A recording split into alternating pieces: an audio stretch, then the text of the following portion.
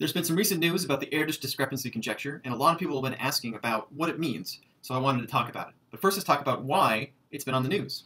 It's because I can now call it Tao's theorem, because Terry Tao has proven it. So here's Paul Erdős and Terry Tao, both very famous mathematicians, and they both have lots and lots of accomplishments. So I couldn't just call this the Erdős conjecture. And as far as I know, we don't have Tao's theorem. So let's talk about what the basic object is. I'm going to take a list of plus 1 or minus 1, and I'm going to think about them in some order. So as I go through plus 1, minus 1, minus 1, plus 1, minus 1, plus 1, all this notation in terms of including the 1 and including the commas is a little redundant. So I'm going to break that, I'm going to just convert that into just plus or minus, minus, plus, minus, plus. Now one way to think about this, and uh, in general it's kind of helpful, is to think about a plus 1 as a heads and a minus 1 as a tails, as if I was flipping a coin, and I was going heads or tails. And the biggest thing is if I'm randomly flipping a coin, you would expect that the number of heads and the number of tails is actually pretty close. And I wouldn't ever deviate that from too much. However, uh, it turns out that you know sometimes we're going to have some issues in terms of balancing between heads and tails, and that's what the discrepancy conjecture is all about. And specifically, the way I'm going to measure is well, I'm going to look at this sequence of pluses and minuses, and I'm going to take jumps of a certain size. So I can start by taking jumps of size one, and I'm going to think about what is my sum along that jump. So if I go from here, I say plus one, minus one gives me a sum of zero, minus one, plus one. I see I'll go one, zero, negative one, zero. If I take steps of size two, then I'm going to be considering a different list of numbers. And I'll go negative 1, plus 1, plus 1, negative 1. So my sum is negative 1, 0, positive 1, 0. As I go through here and I'm summing my numbers, I would, if I expect it to be balanced, I would expect these values to be about 0 or around 0. Now because I've got discrete numbers, I'm definitely going to be varying at least one to the one side or another. So saying I'm only 0 is completely unreasonable, but if I can say I'm less than 2, for instance, would be good. This gives me a measurement called the discrepancy, which is essentially the maximum amount of imbalance in one of these investigations. So you can ignore a lot of this notation. The important thing is that I'm going to specify some number of jumps, n, and I'm going to specify some length of my jumps, d. And then I'm going to say, well, take that n and d and sum up the first n multiples of d and think about how big is that value? How far away is it from zero? And that's my discrepancy. So in general, in general High discrepancy means I'm unbalanced, while low discrepancy means I'm balanced. So we would like to see low discrepancy if possible. And this is what the discrepancy conjecture was asking for, and now what Tao has proven. If I have an infinite list, x sub i, of values taking plus or minus 1, then the discrepancy is infinite. It means there's no finite bound. I will always be able to find some sequence like this that will have a will be very far away from zero. Let's talk a little bit about the context and some of the objects involved. So let's first talk about arithmetic progressions arithmetic progressions is going to be a sequence of numbers that I get by starting at some position and taking some jumps. So if I start at a position A and I take jumps of length d, that's my arithmetic progression starting at A, and then A plus d, then A plus 2d, and so forth.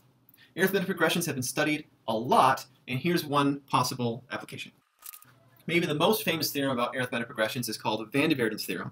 And one version of it is saying, well, if I give an infinite list of values, xi, between that are either plus 1 or minus 1, then there exist arithmetic progressions of arbitrary length where all of the elements are equal.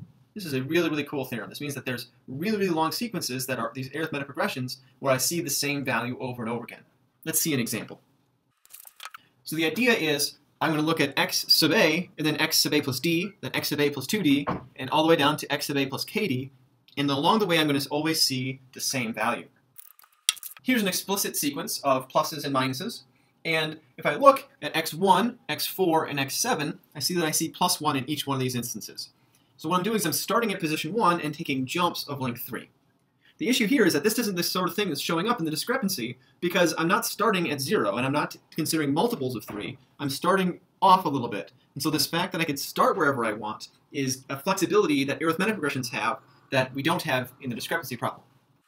So instead, we're going to look at homogeneous arithmetic progressions, which sometimes are called rooted arithmetic progressions. This means I start at zero, and I always take jumps of length d. And sometimes I'm essentially forgetting about the zero and taking jumps of length d, so I'm only considering multiples of d. So if I take that same example and even make it a little bit longer, I can look at my, my jump sizes and I can consider what all my discrepancies are going to be if I take certain lengths. So if I start with jumps of length 1, my discrepancies are 1, 0, negative 1, 0, negative 1, 0, 1, 0, 1, so I'm very balanced in terms of that direction, and also if I take jumps of 2 or 3. The important thing is that I'm always focusing on starting at 0 and then moving forward. That means that as my d increases, I actually have fewer numbers that I'm considering, and so uh, I don't have as many things that I'm, I'm caring about. This, the, it's the interaction between these jumps that is really important to be thinking about. So a consequence of Tao's theorem is that there exist these things called Tau numbers, which I'm going to call Greek letter Tau of k. And this to be the minimum n, such that every list of just n values in negative 1 and plus 1 has discrepancies strictly larger than k. Right? I don't need to look at an infinite list. I can look at a finite list, and this will eventually happen for every finite discrepancy. I can only go to a certain length.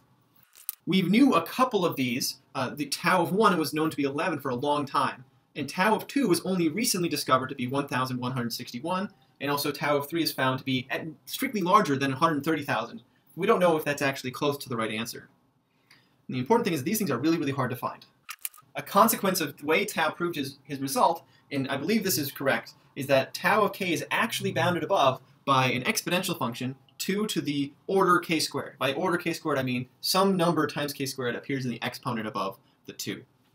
Another thing that Tao proved is actually that you can use, instead of plus and minus 1, you can use unit length vectors from pretty much any space you can think of. So one interesting multidimensional version of tau numbers is tau sub d of k, which is the minimum n such that every list of n unit vectors in z to the d has discrepancy strictly bigger than k. This is a much harder problem, but now we know it's finite, so we can investigate these numbers and think about it and see what so, sort of upper and lower bounds we can get. Thank you for watching.